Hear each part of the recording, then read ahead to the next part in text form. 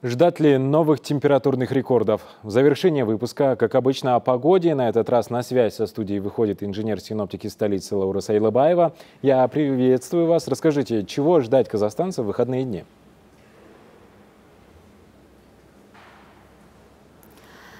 В выходные дни на северные области страны будут смещаться воздушные массы с районов Урала. Эти воздушные массы будут прохладными и влажными, в связи с чем Э, на большей части территории страны у нас ожидаются местами дожди с грозами, шквалистым ветром, также возможно выпадение града. Температура воздуха будет э, понижаться, тем самым ожидается ослабление жары. Думаю, это хорошая новость, но правильно ли я понимаю, что в некоторых регионах жара сохранится?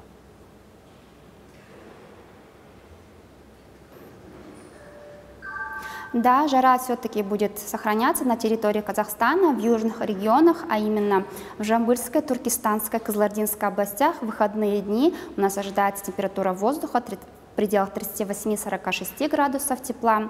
Затем, э, начиная с 22 июля, температура воздуха в этих регионах также будет понижаться и будет в пределах 30-43 градусов. Но э, погода будет преимущественно без осадков в течение недели. Большое спасибо. Я напомню, с нами на прямой связи была инженер-синоптик Лаура Сайлыбаева.